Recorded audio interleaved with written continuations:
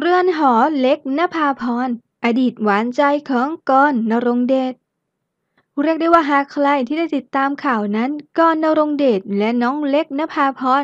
สองไฮโซทายาทตระกูลใหญ่ของเมืองไทย ประกาศแต่งงานกันแบบสายฟ้าแลบทำเอาวงการข่าวเมาส์ถึงกับออกอาการเหวอ เพราะไม่มีสัญญาณเตือนล่วงหน้ามาก่อนเลย จนต้องยกให้เป็น Talk of the Town อภิมหามหึมาวิวาแห่งปี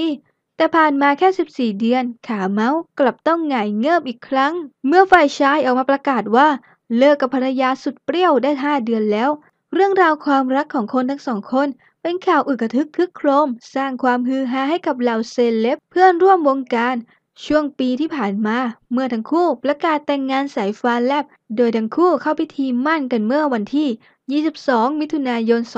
2555 และเข้าสู่ประตูวิวาร่วมใช้ชีวิตกันอย่างหวานชื่นในวันที่ 1 กรกฎาคม 2555 ท่ามกลางความยินดีของแขกผู้ใหญ่และบุคคลมีชื่อเสียงจำนวนมาก ตั้งแต่ผู้นำสามเหล่าทัพ รัฐมนตรีจนระดับอดีตนายกรัฐมนตรี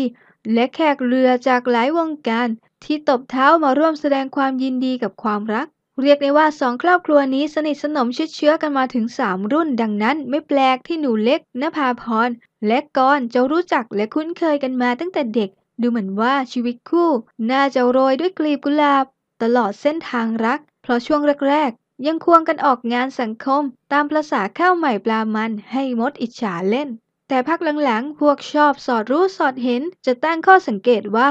ต่างฝ่ายต่างแยกกันออกงาน ไม่หวานเหมือนคู่รักคู่อื่น จนมีข่าวออกมาว่าทั้งสองเข้ากันไม่ได้ จนถึงขั้นแยกบ้านกันอยู่ ตั้งแต่เดือนกรกฎาคมที่ผ่านมา จนถึงขั้นมีสื่อพาดหัวว่า คู่รักพันล้านขาเตียงเริ่มโยก โดยเจ้าตัวให้สัมภาษณ์แบบเปิดอกว่า การหย่าร้างครั้งนี้มีปัญหาหลาย ๆ อย่าง แต่ปัญหาการหย่านั้นมีเพียงเขาสองคนเท่านั้นที่รู้ เรียกว่าเป็นความรักแบบมาเร็วเคลมเร็ว งานนี้ จบก็จริง แต่ไม่รู้ว่าจะมีใครเจ็บบ้าง